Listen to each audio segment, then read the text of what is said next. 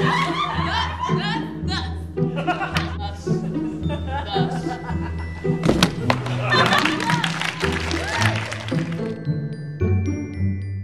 and it's also really exciting to see students have such a passion for Shakespeare and such a passion for acting and theater in general.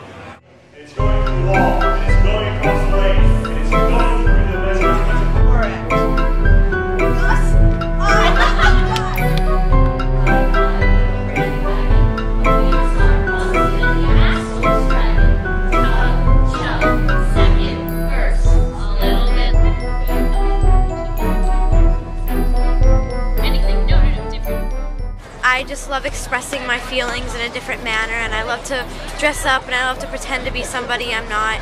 Um, and it's just fun to go out there and be somebody else.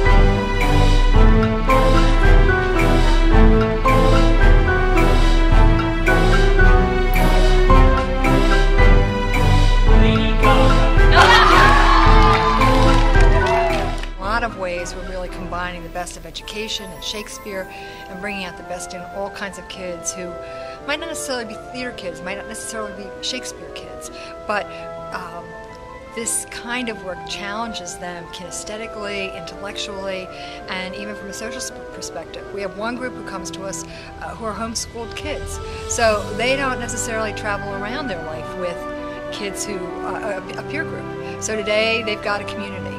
So I think there are lots and lots of strengths that really culminate in a day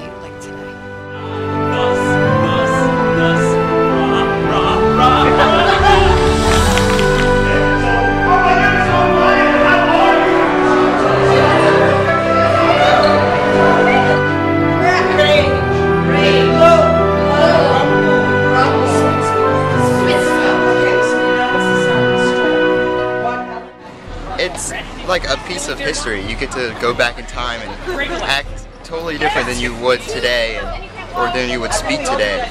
So it's a whole nother experience with everything.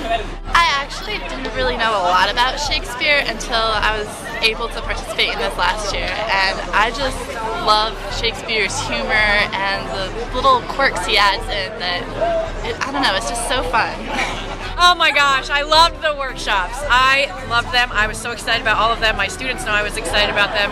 They were amazing, all three of them. The one with Cam, with Rebecca, and with Trent, they were so fabulous. And I think the kids really got a lot of exposure to, you know, why acting is so, you know, interesting to study, why it's a craft, and, and you know, the interesting things about Shakespeare that they weren't aware of. So I think it was very eye-opening for them three, go. Ah! Yeah. And fly. Yeah. Pause.